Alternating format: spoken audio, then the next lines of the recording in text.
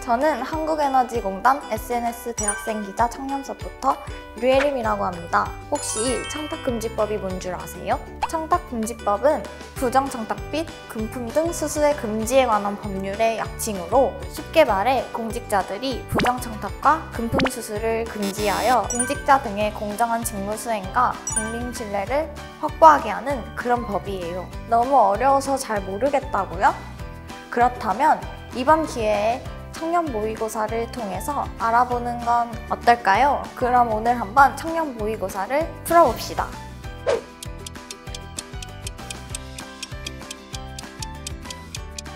정답은 바로 4번이었습니다. 혹시 이 문제를 틀리신 건 아니죠? 전 어렵지 않았는데 맞췄길 바래요.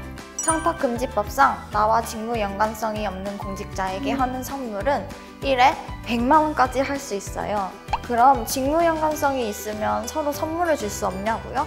직무 연관성이 있는 공직자도 원활한 직무 수행이나 사교, 의뢰 목적에 5만 원 이내 선물은 할 수 있어요.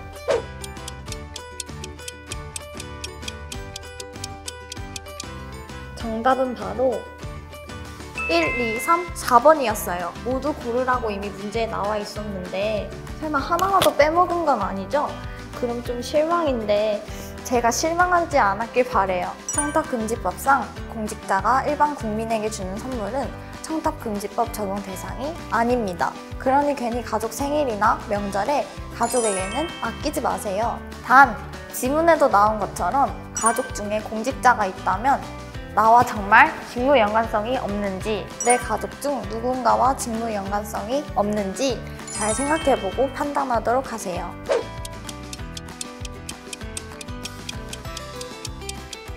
수능에도 꼭 있는 어려운 문제가 바로 이 문제였어요. 그렇지만 청렴하다면 맞출 수 있어야 하는 거 아니에요? 전 맞췄는데.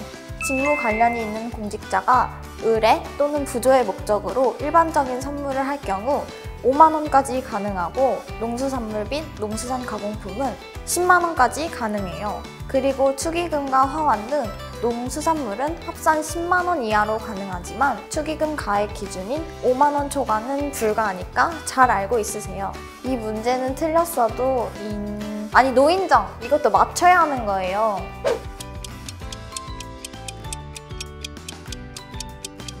이거는 도움이 많이 될 거예요.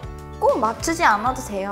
지금부터 알면 됩니다. 왜냐면 선배한테 오늘 저녁 맛있는 소고기를 얻어먹을 수 있기 때문입니다. 상급자가 경력차 하급자에게 제공하는 음식은 청탁금지법 미적용입니다. 그러니까 지금 얼른 상사에게 가서 맛있는 저녁을 사달라고 졸라보세요. 그럼 혹시 아세요?